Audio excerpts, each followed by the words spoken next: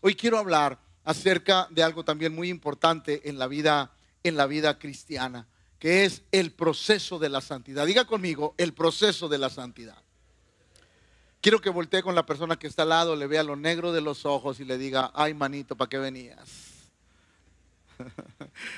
¿Lo puede repetir conmigo, por favor, a las tres? Una, dos, tres. ¿Cuál es el objetivo de Dios en nuestra vida?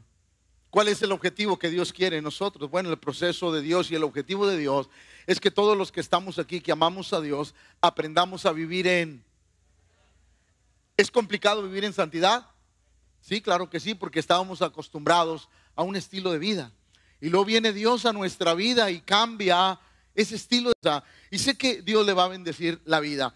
El proceso de la santidad es algo que todos nosotros debemos de anhelar. ¿Por qué? Por algo que dijo el Señor. La Biblia dice que sin santidad nadie verá al Señor. Entonces, la santidad es algo que Dios anhela en nuestra vida y anhela en nuestro corazón. Por eso es muy importante entenderlo. Pero déjeme explicarle algo. Salmo 93, capítulo 93, verso número 5. Mire lo que dice la Biblia. Tus testimonios son muy firmes. La santidad conviene a tu casa. Eso quiere decir que cuando Dios nos dice que la santidad nos conviene es porque es una realidad. La santidad nos conviene y nos bendice. Va de nuevo porque andan muy aguados. La santidad nos conviene y nos bendice. ¿Por qué? Porque es algo que Dios estableció como una prioridad y un objetivo en nuestra vida. Debemos de aprender a vivir de la manera en que Dios quiere. Ahora, algo bien importante. Por ejemplo, ser santificado significa ser qué? Vamos, dígalo, dígalo. ¿Qué significa ser santificado? Apartado. Los sinónimos para santificado son santo, consagrado y bendito. Por ejemplo, déjeme, déjeme hacerle, hacerle un, ejemplo. Este micrófono es... Se los acabo de decir, hombre. Va otra vez, va otra vez, va otra vez. No me entendieron, no me entendieron. Este micrófono es... ¿Por qué? Porque está apartado. ¿Para qué? Para el servicio de Dios. Por ejemplo, si usted en su casa va a tener una fiesta, 15 años, baby shower, boda, no sé, cualquier cosa que se le ocurra, pero la gente por todo festeja. Y usted dice, pastor, se me descompuso el micrófono que yo tenía para ambientar la fiesta. ¿Me puede prestar el micrófono de la iglesia? Y yo le voy a decir naranjas agria, limón partido. O sea, no te lo puedo prestar. ¿Por qué, pastor? Porque está reservado para el uso exclusivo de las cosas de Dios. Ahora, déjeme decirle algo y quiero empezar este sermón de una manera diferente. Tu carro, tu vehículo. ¿Qué? ¿Está reservado? ¿Quién tiene carro? Levante la mano porque le va a dar un pedradón. Levante la mano, no le saque, no le saque. Tu carro está reservado para Dios. Yo sé que muchas personas me van, a, tildar de religioso, de exagerado, pero estoy acostumbrado. Tu carro, tú permites que alguien tome licor dentro de tu carro. ¿Permites que alguien haga algo equivocado dentro de tu carro? ¿Por qué? En tu casa, permites que alguien tome dentro de tu casa? ¿Por qué? Porque mi casa está apartada para el servicio de Dios. Yo les decía, yo les decía en la, mañana, cuando yo empecé a construir mi casa de Apodaca City, allá, iba a construir la placa de lo que era el Porsche. Y me encontré un albañil conocido que me lo dejó barato por conocerme. Y ya lo sabe usted siempre, los albañiles. Eh, eh, eh, y, cuando terminemos, una carnita asada. Sí, hombre, sí le compré una carnita asada. ¿Cuál es el problema? Sirve que yo también me siento porque me gusta.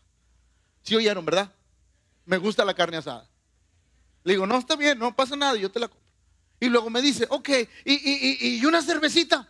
Ah, no. No, no, no, eso sí no. Pero no se la va a tomar usted, pero yo se la voy a comprar. O sea que para el caso es lo mismo. Así es que no se puede. Ah, no se puede. Entonces no le hago nada. Pues no me haga nada. Y no me hizo nada. Me encontré a otro más caro, pero estoy en paz con Dios. ¿Qué, escogemos? Por eso déjeme darle un consejo. Si usted va a consagrar algo para Dios, cúmplaselo. No, va de nuevo. Va de nuevo. Buenas noches, no estoy. Si usted va a consagrar algo para Dios y no lo va a cumplir, por favor, no lo haga. ¿Alguien me comprendió? Hermanos, si le pueden decir a esa persona que hay que guardar el orden y la compostura, por favor. Sí, porque es importante, si no me va a distraer a la gente. Por favor. Los hermanos, por favor. Creo que es, es muy importante entender que todos nosotros debemos de vivir una vida apartada y separada para, para Dios. ¿Por qué? Porque es lo que Dios quiere y es lo que Dios pide para nuestra vida. Por eso creo que es importante entender esto. Por eso ser santificado es ser apartado para Dios y es lo que Dios quiere. Por ejemplo, usted y yo, diga conmigo, fuimos apartados para Dios. No, no, dígalo por favor, fuimos apartados para Dios.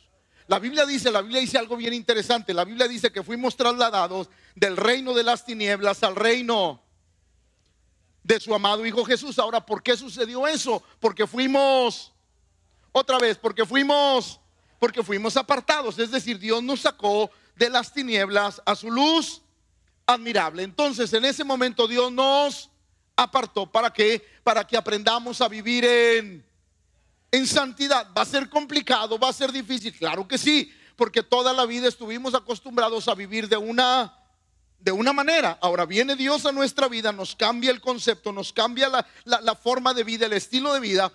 Por eso la Biblia dice, escúcheme bien esto, la Biblia dice que el camino de Dios es Ahí le va. ¿Por qué el camino de Dios es angosto? Porque tiene una medida. Otra vez, ¿por qué el camino de Dios es angosto? Porque tiene una medida. ¿Cuál medida? La medida de Dios. Por eso la Biblia dice, ancho y espacioso es el camino que conduce a la perdición y muchos van por él. ¿Por qué? Porque el camino de la santidad es un camino poco transitado, pero es el camino que Dios escogió para nuestra vida. Miren lo que dice Hebreos 12:14. Seguid la paz y la... Ahí va, ahí va, escúcheme por favor. Diga conmigo, la paz y la santidad se siguen. ¿Sé qué? Ahora, ahí va, ahí va, ahí va, ahí va. Ahí va, escúcheme, escúcheme. La santidad se aprende y se practica. Va de nuevo, va de nuevo, porque quiero que me escuchen. La santidad se aprende y se... Ahora, pastor, ¿cómo aprendo la santidad y cómo la practico? Aquí está. Este es el libro que nos dice cómo ser santos. Este es el Dios, es el instructivo para la santidad. La santidad no es lo que el pastor diga, no es lo que la congregación diga, no es lo que la denominación diga. La santidad es lo que está escrito aquí. Por eso nosotros tenemos que aprender a caminar en el camino de la seguir la paz con todos y la santidad. La santidad está reflejada en este precioso libro. Es decir, no importa lo que yo piense de la santidad, importa lo que este libro dice de la santidad. Por eso nosotros guiamos, nos guiamos por este libro, por eso nosotros lo instruimos, lo leemos. ¿Para qué? Para aprender la, la santidad. Ahora, déjeme decirle porque el mensaje va a estar interesante. Le he puesto el proceso de la santidad. Primero, santidad. Diga conmigo, santidad es el inicio de nuestra vida cristiana. Santificación es el, es el proceso y santo es la meta de nuestra vida. Entonces, todos estos procesos tenemos que pasar para que Dios nos ayude. Miren lo que dice Primera de Pedro 3:15. Si nos santificada Dios el Señor en vuestros corazones, debe de haber un principio en nuestra vida para querer agradar a Dios. Ahora, vamos a entrar directamente al sermón con tres cosas. Y la primera, diga conmigo, santidad. No, pero dígalo así como que tiene ganas de oír las pedradas. Dígalo conmigo, santidad. Es importantísimo. Miren lo que dice Hebreos 12, 14. Seguir la paz con todos sin la santidad sin la cual nadie verá al Señor. Ahora, va, va, el proceso. Diga conmigo, el proceso. El Espíritu Santo le habla solamente a los cristianos o también le habla a los que no conocen a Dios. El Espíritu Santo habla a todos, no está en todos. Primero, escúcheme bien, el Espíritu Santo nos habla a todos. ¿Por qué, pastor? Porque nos convence del pecado y de la maldad que hay en nuestra vida. ¿Estamos de acuerdo? Por ejemplo, hay personas que pueden venir por primera o segunda vez a la iglesia, que me ha pasado, que personas vienen a la iglesia y luego termino de predicar y a las personas que los invitaron, lo primero que les dicen es, le dijiste al pastor mi vida. Porque el pastor sabe lo que estoy pasando, porque el pastor sabe que soy así. Tú le dijiste, no, no, nadie me dice nada, es que el Espíritu Santo te está hablando. Otra vez, es que el Espíritu Santo te está hablando. O sea, el Espíritu Santo habla. ¿Por qué habla, pastor? Escúcheme bien, porque ese es el proceso. El Espíritu Santo me habla para que yo me... Cena gratis el 30 de febrero. ¿Para qué me habla? Para que me arrepienta. Cuando el Espíritu Santo viene a mi vida y me dice, hey, estás equivocado y viene un convencimiento del pecado, entonces en ese momento yo le digo, Señor, perdóname por todo lo que hice. Y en ese momento la sangre de Cristo viene y me, y me limpia de todo. Y ahora sí, como mi corazón está limpio por la sangre de Cristo, quien viene a mi vida? El Espíritu Santo. ¿Y cuál es la obra del Espíritu Santo? Llevarme en el camino de la santidad. Por eso, escúcheme, escúcheme, pastor, ¿cómo sé que tengo al Espíritu Santo? El Espíritu Santo todos los días te va a redarguir. Si cuando haces algo equivocado te sientes mal y hay algo que te lleva al arrepentimiento, no es otra cosa más que el Espíritu Santo. Si hay alguien que te dice, no lo hagas, no lo hagas, y hay una lucha interna en tu corazón, te felicito, el Espíritu Santo está contigo. Pero si tú haces algo malo y dices, yo te digo, ya la regaste. Porque quiere decir que el Espíritu Santo ya no hace efecto en tu corazón. Por eso el proceso es que el Espíritu Santo me habla. ¿Le habla a los pecadores? Sí. ¿Para qué, pastor? Para que se arrepientan. Una vez que el pecador se arrepiente y le pide perdón a Dios, la sangre de Cristo viene y nos limpia de todo. Y en ese momento el Espíritu Santo viene y mora dentro. Ahora, déjeme hacerle otra pregunta porque viene y mora dentro de nosotros.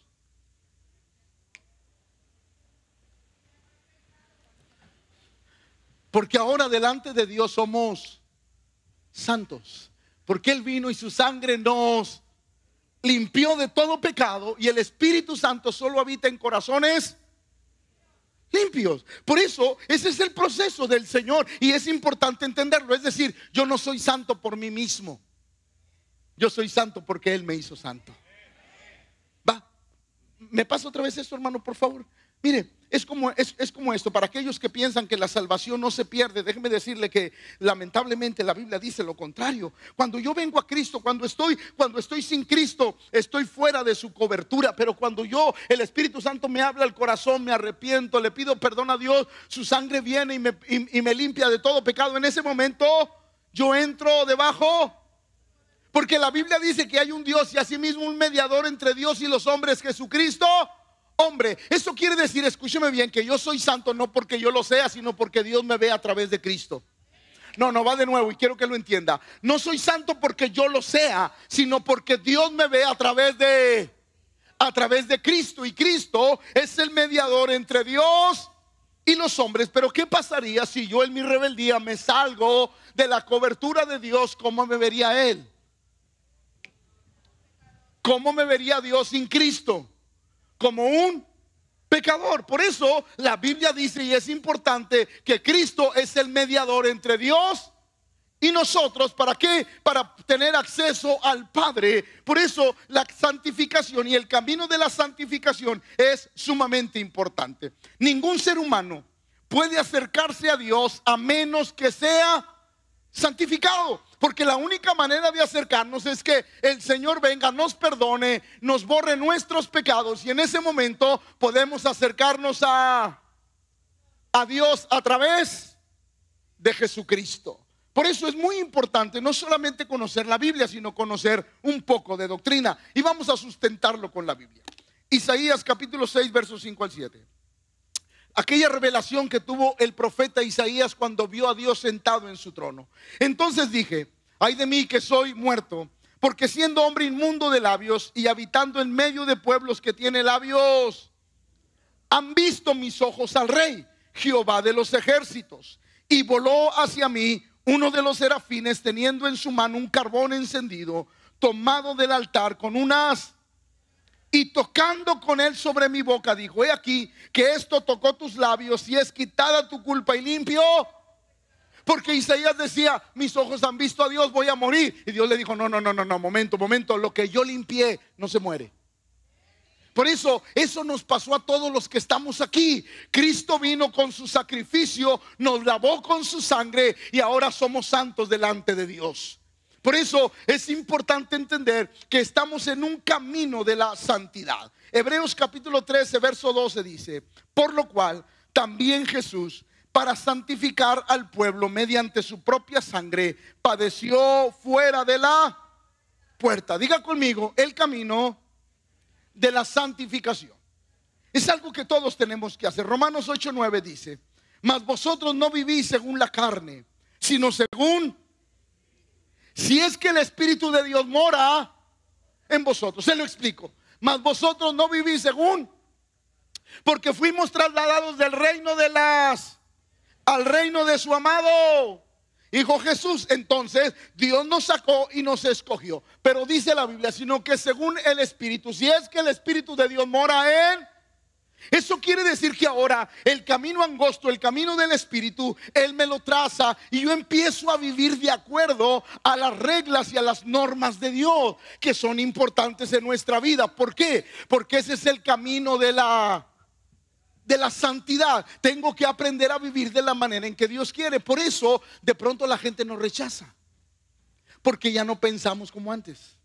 Ya no somos como antes, porque ahora el camino angosto marcó nuestro, nuestra vida, marcó las decisiones que deben de haber en nuestro corazón y es un proceso que todos los días seguimos en nuestra vida. Por eso el apóstol le enseñaba a la iglesia, vosotros no vivís ya según la carne, no vivimos según la sino según el Espíritu, si es que el Espíritu de Dios mora en vosotros, y si alguno no tiene el Espíritu de Cristo, no es de él. El Espíritu Santo viene a nosotros porque hemos sido apartados para... ¿Cuántos han sido apartados para Dios? Ay, Padre, qué poquitos va otra vez. ¿Cuántos han sido apartados para Dios? Claro, Dios nos apartó y ahora empezamos a caminar con Dios. Por eso la santidad es el, es el inicio de una relación con Dios no sabíamos cómo. Es más, nosotros no podemos vivir una vida de santidad si el Espíritu Santo no está con nosotros. Es imposible vivir una vida de santidad si el Espíritu Santo no está dentro de nosotros para que Él nos guíe. Entonces, ¿quedó claro la primera, santidad? La segunda, diga conmigo la segunda. Esta se va a poner sabrosa. Santificación, diga conmigo, santificación. Zona VIP, dígalo por favor, santificación. Zona Mega VIP, dígalo por favor, santificación. Zona Mega, Ultra Mega VIP, dígalo por favor. Los que quedan. Dios los bendiga. Santificación. ¿Qué es, pastor? ¿Qué es la santificación? Es un proceso, diga conmigo, es un proceso. Es un proceso en el que todos entramos. Por eso, Éxodo 28, 36, Dios le hablaba al pueblo y le decía, harás además una lámina de oro y grabarás en ella como grabadura de sello santidad. Ese es el deseo de Dios. El deseo de Dios es que todos nosotros, por voluntad propia, empecemos a santificar. Diga conmigo, a santificar. No, no, dígalo por favor, a santificar nuestra vida. ¿Cómo, pastor? ¿Cómo empezamos a santificar nuestra vida por medio de esta palabra? Lo que aquí dice lo tenemos que hacer. Pongo un ejemplo. Prométame que no se va a enojar. Levante la mano y diga, voy a aguantar, pastor. No, no, levántenla todo. Levanten la mano, todo. Y diga, voy a aguantar. Por ejemplo, va, escúcheme bien, escúcheme bien. El proceso de la santificación son cosas y decisiones que nosotros tomamos de acuerdo a lo que Dios dice. Le pongo un ejemplo. Alguien dice, pastor, yo quiero amar a Dios, acepté a Cristo en mi corazón, quiero caminar con Dios. Está bien, hermano, me da mucho gusto. ¿Estás casado? No, vivo en unión libre. Ah, caray. Chafió el asunto.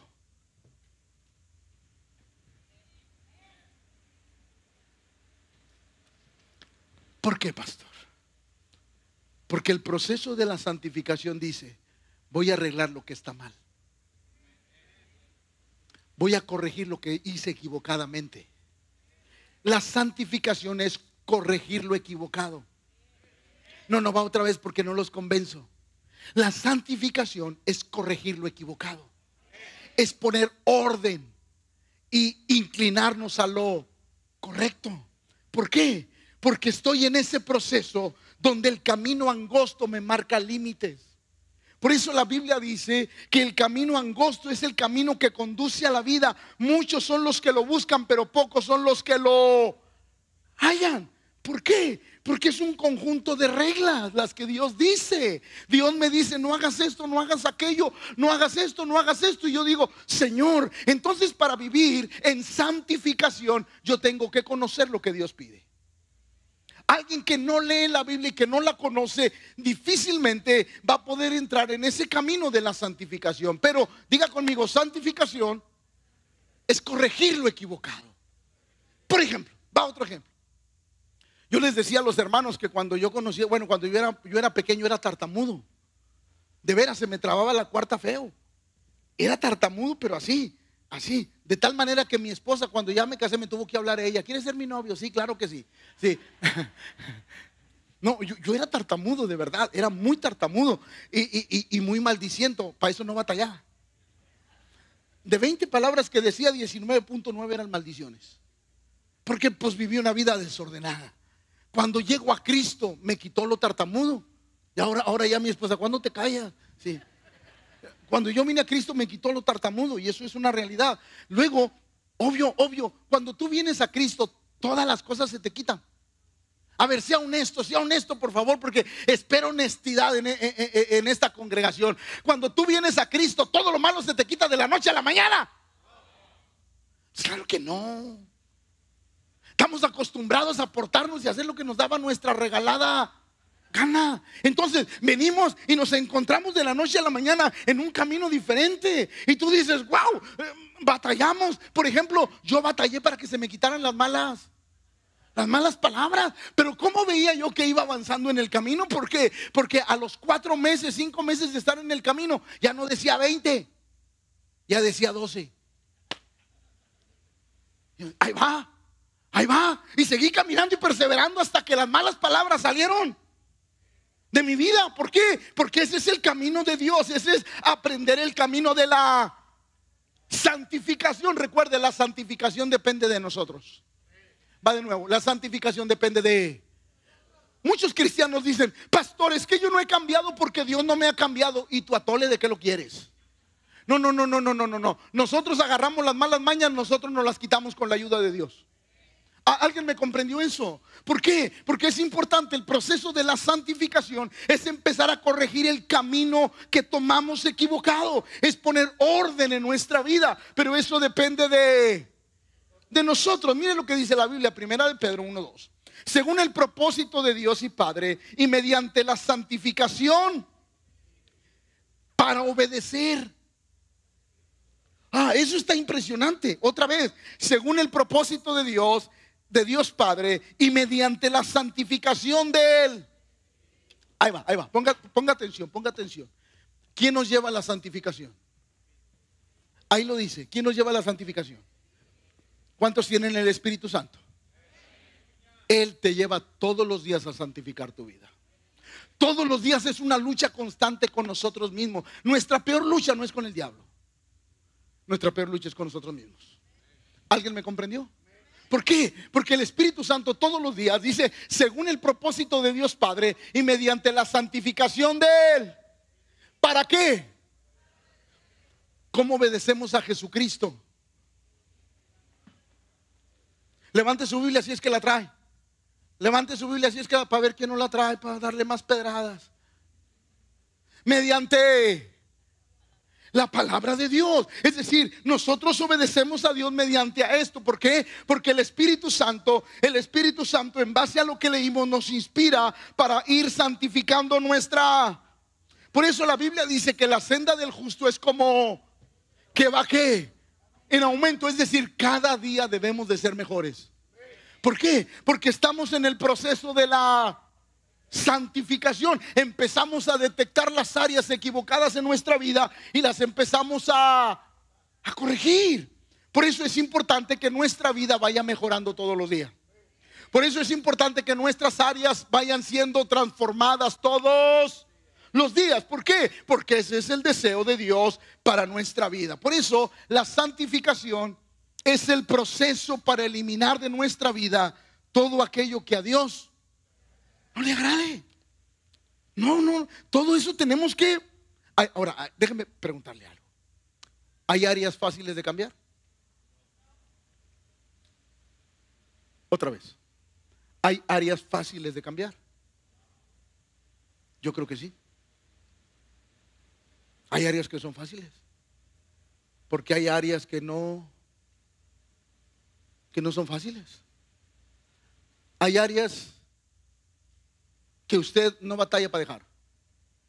Pero hay áreas que sí batallamos para cambiar. Pero que no podemos dejar de persistir hasta que Dios nos ayude a cambiarlas.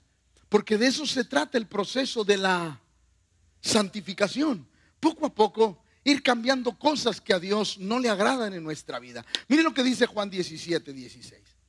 No son como tampoco yo soy del mundo. Santifícalos tu palabra. Cada vez que leemos este libro y lo vivimos, estamos siendo transformados. ¿Por qué? Porque esta es la verdad de Dios. Esta es la verdad en la cual todos ustedes y yo tenemos que aprender a vivir. Alguien quiere vivir en santidad, lea la palabra de Dios, medítela, vívala y empezaremos a vivir en santidad. Por eso es muy importante entender que Dios viene y me dice, por ejemplo, Dios viene y me dice, leo su palabra un día, un día, déjame siento aquí donde nadie le echa. Este, llego y me siento y, leo la Biblia. No mentirás. No mentirá. No mentirá. Pero luego viene alguien y, le digo una mentira. ¿Qué estoy haciendo? ¿Estoy en el camino de la santidad? ¿Por qué? Porque no estoy. ¿Qué es el camino de la santidad? Aquí me dice que no mienta. Pero si digo la verdad me va a ir mal. ¿Qué prefiero? ¿Que me vaya mal o estar bien con Dios? Usted escoge. Pero si queremos vivir en santidad, tenemos que enfrentar las verdades. Las verdades de Dios. Por eso, el proceso de la santidad es sumamente importante, pero también es complicado, porque estamos acostumbrados a un estilo de vida. Y viene Dios y me dice, quiero que empieces a eliminar de tu vida lo que no es correcto. Y uno dice, Señor, pero ¿cómo? Sí, ¿por qué? Porque escogiste el camino de la santidad, de la santificación. Entonces uno empieza a hacer a un lado lo que a Dios no le agrada, lo que a Dios, lo que a Dios no le agrada, y, y, empieza una lucha en nuestra propia vida. Por eso, eh, escúcheme, por eso de pronto nos alejamos de personas. Personas del camino y estamos en un proceso de santificación. De pronto va a haber cosas en nuestra vida que tenemos que aprender a rechazar, momentos que hay que aprender a rechazar. ¿Por qué? Porque estoy en el camino de la santidad. Por ejemplo, alguien me dice, haz esto, pero yo digo, la Biblia dice que no lo haga. Y yo quiero vivir en santidad, yo digo, no lo voy a hacer. Si no lo hace este corro, pues ni modo, pero yo quiero hacer lo que Dios, porque estoy en un proceso de entonces, nunca será fácil, pero siempre nos va a bendecir la vida. Mire lo que dice Primera de Pedro 1:15. Sino como aquel que os llamó es, así también vosotros, santos en toda vuestra manera. Wow, qué complicado. ¿Sí o no? A ver, sean honestos, ¿sí o no? Es complicado ser santos en toda la manera de vivir. Claro que sí.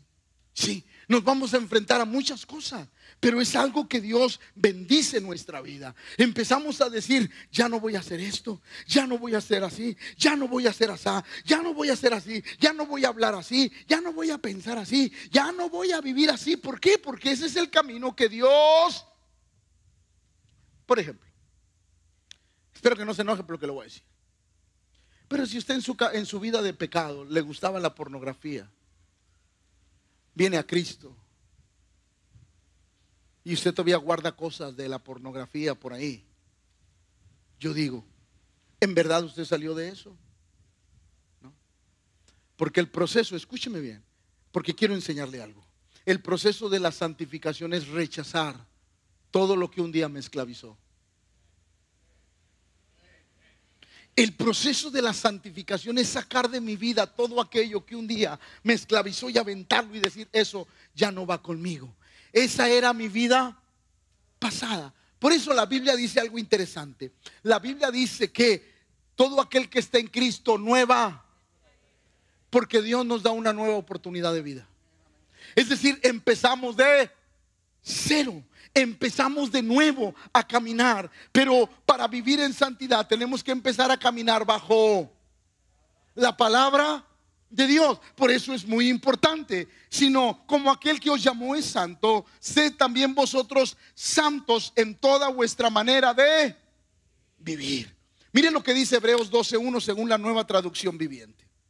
Por lo tanto, ya que estamos rodeados por una enorme multitud de testigos de la vida de fe, quitémonos todo peso que nos impide correr, especialmente el pecado que tan fácilmente nos hace y corramos con perseverancia la carrera que Dios nos ha puesto por... Eso quiere decir que hay cosas que tenemos que aprender a dejar. Eso quiere decir que hay cosas que tenemos que dejar a un lado. ¿Por qué, pastor? Porque no son agradables delante. Porque estamos en un proceso de Santificación, quien trae un celular que me lo preste, por favor, así rápido, ¿no se te va a caer dinero a ti? Ah, bueno. Eh, no se rieron del chiste, Dios los bendiga, los voy a pelear más para que se les quite. Es como, es como, es como cuando diga conmigo el proceso de la santidad. No, no, dígalo, el proceso de la santidad. Hermanitas, hermanitas queridas que están aquí, les quiero decir algo y ahorita me agarro a los hombres para que vean que para todos traigo. Pero hermanita querida, si tú cuando era, cuando no conocías a Dios. Hacías cosas que, eran moralmente incorrectas. ¿Cuál pastor? Ya ve que a las hermanitas les gusta mucho la selfie, aún hasta el plato de comida se la toma, no sé ni para qué, pero se la toma. Pero hermanita, yo les quiero pedir un favor o les quiero decir algo. Dígame, ¿cuál es el asunto de desabrocharse y tomarse una... y subirla a tus redes sociales? Yo pregunto, ¿qué onda contigo? ¿Quién quieres que te vea? ¿Por qué haces eso? ¿Eso era tu vida? No, dígalo, esa era tu vida. Ya no va con la vida. Porque las cosas viejas, he aquí todas son ya nuevas. Porque ya no, ya no hay que hacer cosas que están equivocadas. Me siguen amando.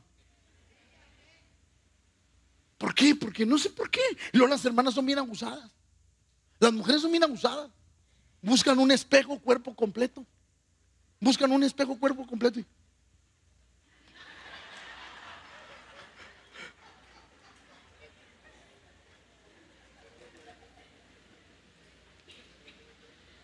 Y yo pregunto, perdón, ¿para qué quieres enseñarle las pompas a alguien? ¿Cuál es el asunto de eso? Que no te das cuenta que ahora Cristo está en tu vida. Que no te das cuenta que las cosas pasaron. Eso ya no tiene, ya la vanidad pasó a otro rumbo. Ya no tenemos esas ideas en nuestra vida porque ahora Cristo gobierna nuestro corazón y somos diferentes. ¿Alguien me está comprendiendo? Sí, pero a las personas se les hace fácil. Ay, pastor. Y ahí están las personas mandándote mensajes que no te van a agradar. Pero yo pregunto, es más, ahí va. La santidad nada tiene que ver con la ropa, pero sí va con la ropa. Papás que están aquí, levanten la mano. Papás y mamá, levanten la mano. Quiero que sean honestos conmigo, por favor. ¿Lo van a hacer? ¿Alguna vez tú le has dicho a tu hija, si te vistes así, no, no, vas conmigo. Levante la mano, ya se la sabe, hombre. A ver, papás que alguna vez le han dicho a su hija, ah, no, vestida así, yo no te saco, no vas conmigo. ¿Por qué? ¿Por qué? Entonces yo le quiero decir algo, hermano, hermana que estás aquí. Ay, pastor, entonces tengo que ver. Mira, bien sencillo. Ni me voy a meter en tu forma de vestir ni nada, pero te voy a dar un consejo. Espero que lo agarre. Cuando tú te vistas y le dudes, ve, ve al espejo y dile, Espíritu Santo, ¿saldrías a la calle así conmigo? Y a ver qué te dice.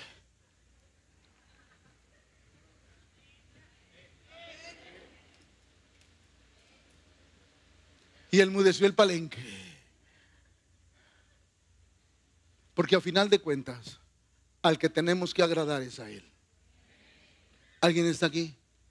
Sí, los hombres también. ¿Para qué enseñan tus miserias?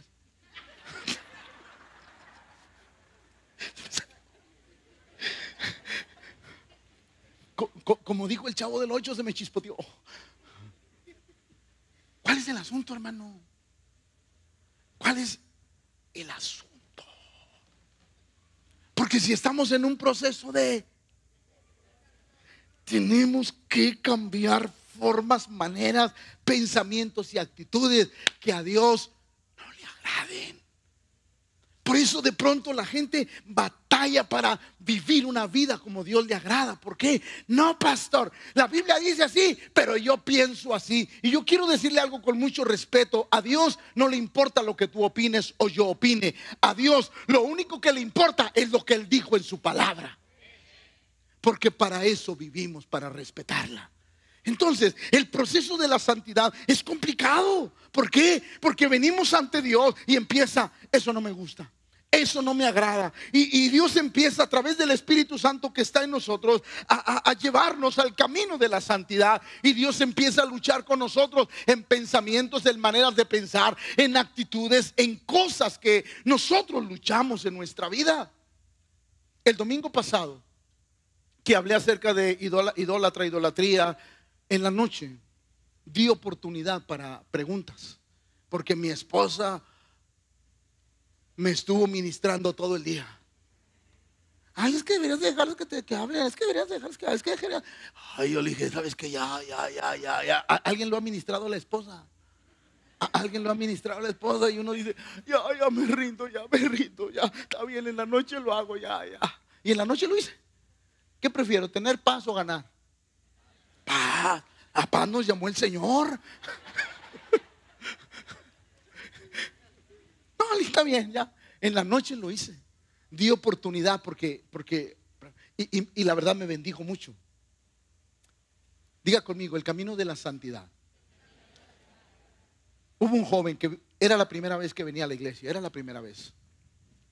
Se sentó por allá más o menos. El joven me levanta la mano y me dice, yo quiero hacerle una pregunta. Yo dije, ay, Señor, no viene a la iglesia porque no lo conocía. Yo le conozco la cara a todo. Quizás no le sé el nombre, pero ya lo conozco. Ya sé cuando viene de buenas y cuando viene de malas y cuando me ignora. Mire, estos ojitos que se han de comer los gusanos, ya lo sabe. Pero bueno, eso es un punto y aparte. Pero ahí le va. El joven se para y me dice, pastor, en mi vida pasada yo era un adorador de la muerte. Era tan adorador que la traigo, la traigo tatuada. Pero con lo que usted dijo, pastor, hoy acabo de entender algo. Acabo de entender que a Dios no le agrada que yo traiga algo que yo adoraba en mi cuerpo.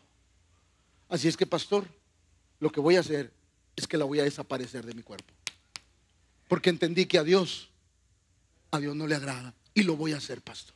Wow, me bendijo. Pero, de este lado, allá por donde estás a mí, había un señor, un hermano que tenía tres domingos viniendo. Digo, de hecho, yo no sé si está aquí, pero vino en la noche. Tres domingos tenía que había venido a la iglesia apenas tres domingos. Y me dice, pastor, acabo de salir de la cárcel por muchas cosas que hice. Conocí a Dios, me estoy acercando a Dios. Pero en mi vida pasada, pastor, yo traigo la imagen de, de una virgen aquí. Porque yo creía en eso, pastor. Pero por lo que usted está diciendo, pastor, estoy mal. Porque traigo idolatría en mi, en mi cuerpo. Y ya no puedo yo amar esto. Así es que, pastor, hago una promesa delante de Dios que esto se desaparece porque quiero honrar a Dios. ¿Por qué digo esto? Porque es el camino de la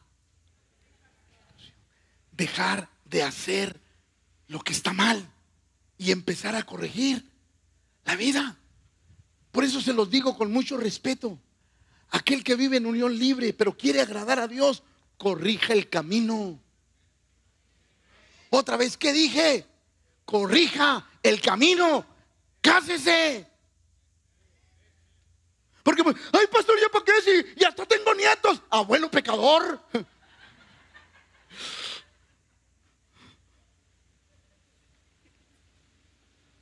Porque cuando uno empieza a caminar en el camino de la... El Espíritu Santo empieza a luchar con nosotros. ¿Empieza qué? A luchar con nosotros. Empieza a decirnos, eso no está bien, esa manera de pensar, esa manera... Lo que pasa es que nosotros, nosotros siempre creemos tener la razón. ¿Sabe cuál es el problema con el Espíritu Santo y nosotros? Que nosotros siempre pensamos tener la razón. Y yo quiero decirle algo, cuando el Espíritu Santo lo enfrente y usted se empiece a justificar, usted tiene un grave problema. Ay, no hallaba cómo decirlo, pero hasta que se me salió. Sí, porque el problema es que el Espíritu Santo nos dice, este es el camino, este es el camino. No, Señor. Le voy a decir la manera en que se justifican las... Si estoy mal, pero hay otros peores.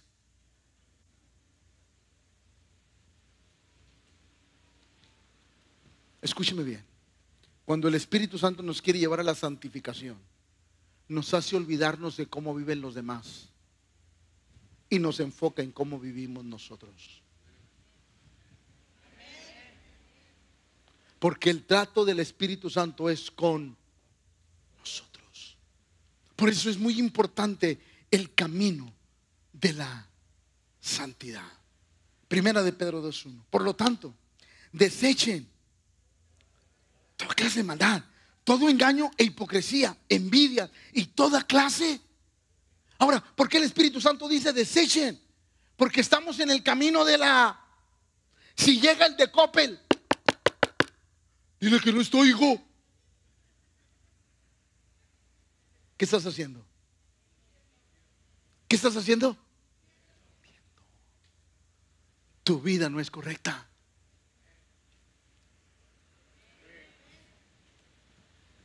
Ay, pastor, eso es una insignificancia. No. No, porque nuestra vida tiene que ser íntegra. Porque es lo que Dios quiere en nuestra vida, es lo que Dios anhela en nosotros. Miren lo que dice segundo a los Corintios. Así que, amados, puesto que tenemos tales promesas, limpiémonos de toda contaminación de carne y de perfeccionando la santidad en el temor. Entonces, diga conmigo, la santidad se perfecciona. Todos los días, por eso todos los días debemos de ser mejores. Es más, ahí le va, iglesia, está aquí. Hoy tengo, tengo que ser, o tuve que ser mejor que ayer. Mañana tengo que ser mejor que hoy. ¿Por qué? Porque estoy perfeccionando, diga conmigo, perfeccionando la santidad en el temor de Dios. Todos los días tengo que hacer algo para que la santidad vaya mejorando en mi vida y en mi corazón. El apóstol Pablo decía a la iglesia de Tesalónica, pues la voluntad de Dios es vuestra, que os apartéis de fornicación.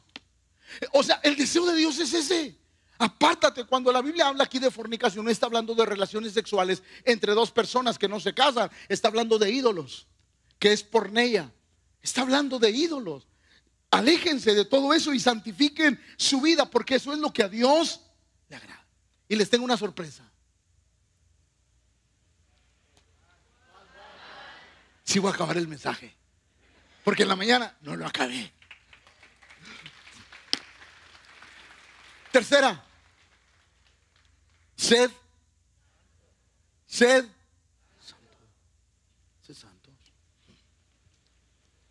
¿Me deja darle unos consejillos? Eh, no sé cuál vas a cantar, a, tocar, pero algo que motive acá a, la, la, iglesia para que se calmen. Este, ¿Cuál estará bien?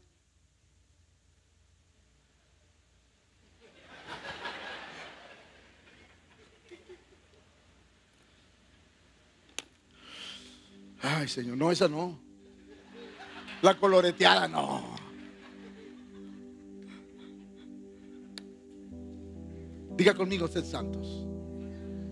Otra vez diga conmigo, sed santos. Creo que este es un reto muy grande en nuestra vida, pero no imposible. Porque si Dios lo dijo, es porque se puede. Déjame, enseñarle algo. Porque Cristo vino a este mundo y vivió en santidad. Por dos cosas. Número uno, porque era el Cordero de Dios. El único que podía quitar el pecado del mundo. Pero número dos, para demostrarnos que sí se puede vivir en santidad. Sí se puede. Por eso el reto de Dios es ser santos. La Biblia dice, primera de Pedro 1.16, está escrito, sean porque yo soy santo. Jóvenes que están aquí, el mundo es tentador para ustedes.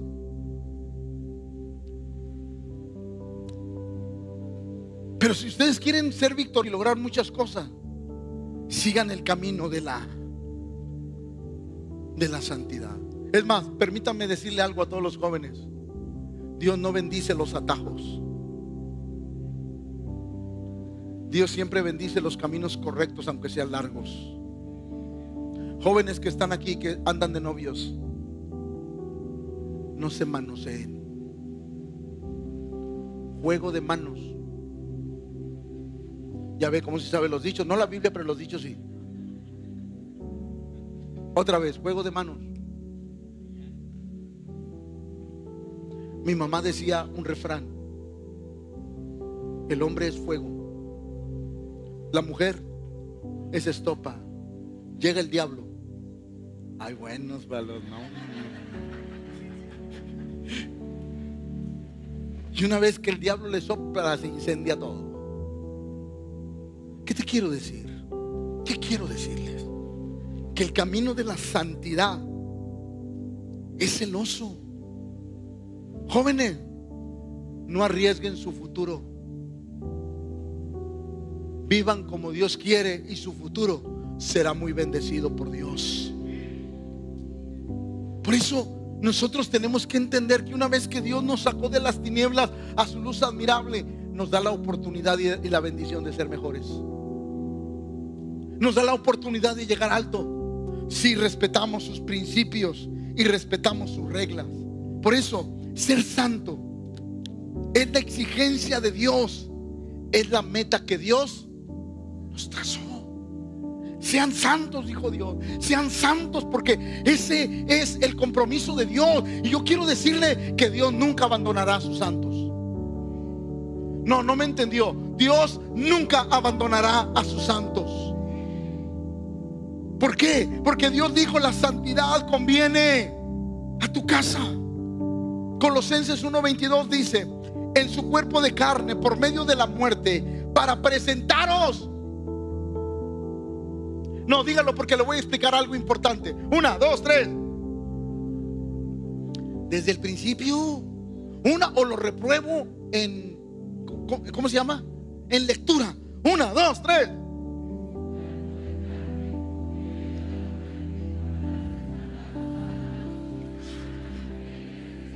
Escúcheme por favor, escúcheme. ¿Cuál es uno de los ministerios de Cristo?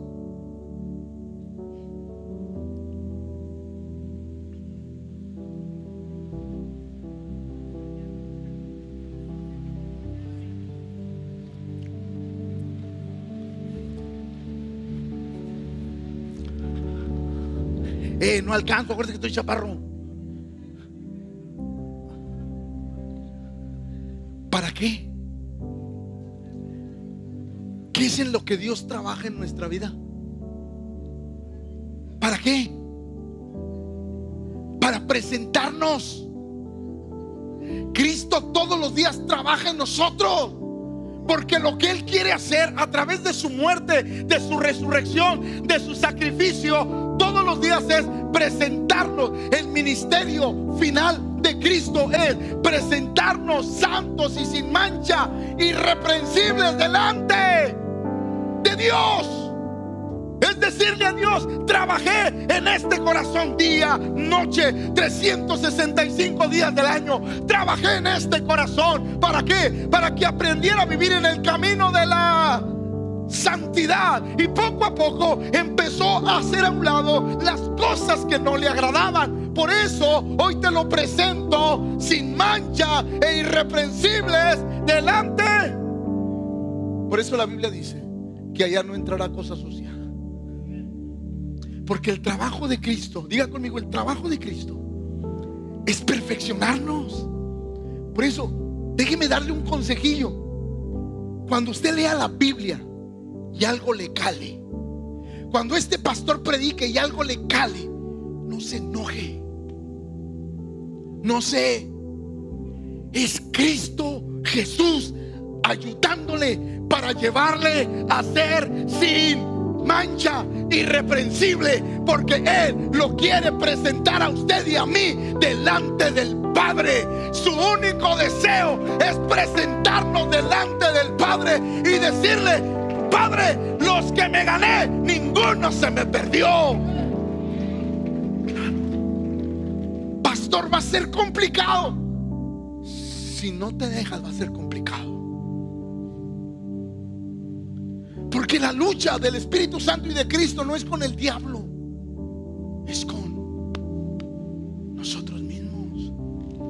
Porque estamos tan acostumbrados a vivir nuestra forma, nuestra manera de vivir y de pensar que a veces el Espíritu Santo viene a nuestra vida, nos da dirección, nos dice por aquí no, nos dice eso no, eso que estás pensando no, esa actitud que tomaste no está correcta, esa manera de pensar está equivocada y uno inmediatamente, pero otros están peor, pastor, otros otros no lo hacen, pastor, pero Dios no se trata de eso, se trata de que Dios te quiere quitar toda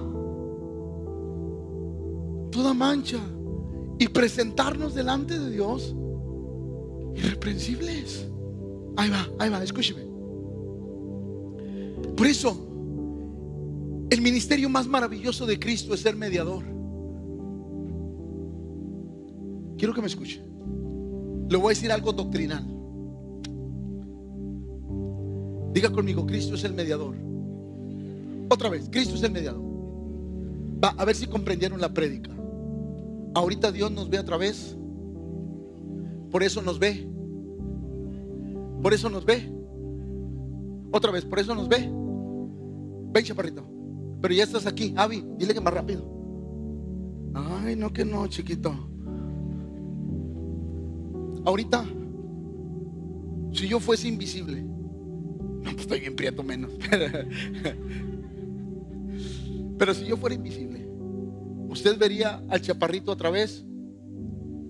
Que esa es la función de Cristo ahorita, ¿sí o no? Quiero que no pierda lo que le quiero enseñar porque lo que le voy a enseñar es profundo y poderoso. Ahorita Cristo es Él. Por eso Dios nos ve a través de... Pero ahí va, ahí va. Pero la Biblia dice, en su cuerpo de carne por medio de la muerte, ¿para qué? ¿Para qué? ¿Para qué?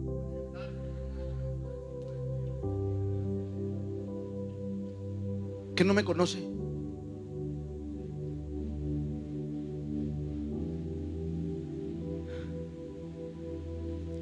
Que no me conoce. ¿Por qué me va a presentar?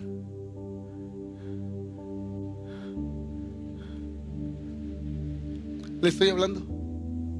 ¿Por qué me va a presentar? No me conoce. O sí me conoce. Oh, me conoce a través de alguien. Esto es profundo y doctrinal. Escúcheme bien. ¿Me conoce o me conoce por medio de alguien más? Otra vez, no te vayas, chaparrito, no te vayas. ¿Me conoce a mí o me conoce por medio de alguien más? Si Cristo, si, el, si el Padre me ve directamente a mí, ¿cómo me ve? Como un pecador digno de muerte. Pero si me ve a través de, ¿cómo me ve? Santo, justo y... ¿Me conoce o no me conoce? ¿Me conoce a mí o no me conoce? ¿O solo me conoce a través de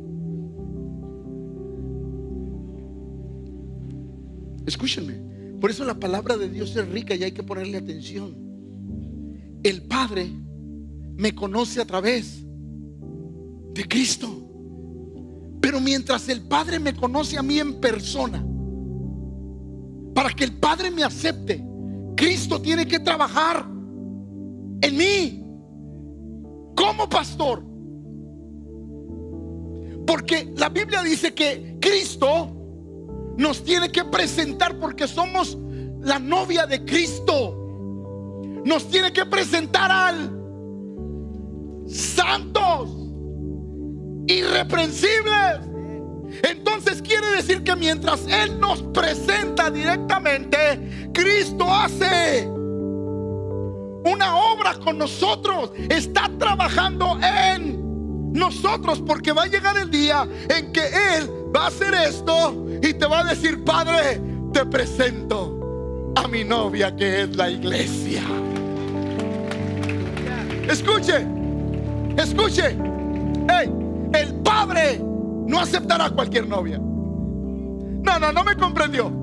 El Padre no aceptará cualquier novia. No, va de nuevo. El Padre no aceptará cualquier novia. ¿Cuál novia aceptará? Una novia sin mancha, sin arruga y sin contaminación. Porque fue la que Cristo trabajó en esta tierra. ¿Para qué? Para decirle al Padre, Padre, aquí está lo que yo escogí. Y el Padre dirá, bien hecho, hijo mío, escogiste lo mejor. Por eso la Biblia dice, ustedes son linaje escogido, real sacerdocio, pueblo santo, adquiridos por Dios, porque Dios empieza a trabajar en nuestra vida para presentarnos delante del Padre. Por eso, la vida de santidad es importante. El apóstol Pablo decía, no siendo que habiendo yo predicado, yo mismo venga a ser reprobado. Cada vez que el Espíritu Santo te dice eso no, cada vez que el Espíritu Santo golpea tu vida y te dice esa manera de pensar no, esa manera de hablar no, esa manera de reaccionar no, esa manera de decir no, es porque Él nos está limpiando las las mancha. Y nos está, porque el trabajo de Cristo no es rechazarnos. El trabajo de Cristo es moldearnos para un día presentarnos. Escúchalo bien, la mentalidad de Cristo, el corazón de Cristo es, te agarro para presentarte a mi Padre y decirle, Padre, con esta me caso, porque es la iglesia preciosa de Cristo Jesús. ¿Alguien lo está comprendiendo? ¿Alguien lo está comprendiendo? Por eso, cada vez que el Espíritu Santo habla, nuestro corazón duele. ¿Por qué? Porque nos está quitando las... Y déjame decirte algo, iglesia, para terminar. Si Dios nos quitó una mancha, no volvamos al lugar donde la tomamos.